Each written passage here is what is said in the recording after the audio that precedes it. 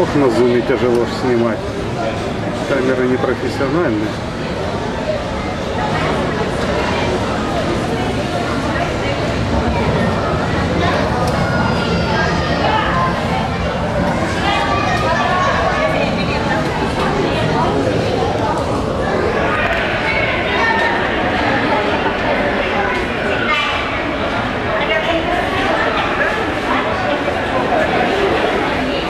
отрывайся уже.